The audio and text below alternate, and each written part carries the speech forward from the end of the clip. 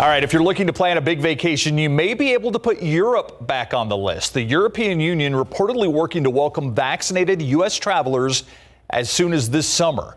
Most non essential travel has been banned for more than a year now, but as 12 on your side's Marilyn Moritz reports, vaccinations are the key to easier travel. Their trip to San Antonio complete, Hal and Pam Silzly wouldn't mind seeing Italy or Paris. I'd love to go. Yeah. Did you consider going as early as this summer?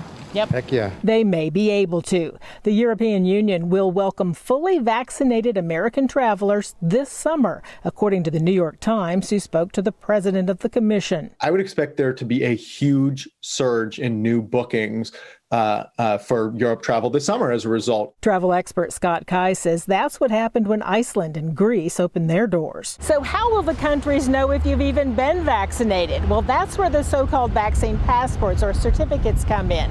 Countries and the airlines are discussing how to implement them. Keep your white CDC card in a safe place. Make sure you don't spill anything on it. Make sure you don't lose it because that's going to be your pass to be able to visit Europe and other places this summer without having to have any negative test or, or, or quarantine upon arrival. Besides paper, they're looking at apps to show your proof on your phone. But with big demand, will there be deals? Kai says yes, because airlines will add flights. Now he says you can book a summer round trip from San Antonio to Dublin, Ireland for $353 and a round trip flight to Spain, $526. The EU has not given a date for reopening, but because summer tourism is huge there, Kais expects it will be soon. Marilyn Moritz, KSAT 12 News.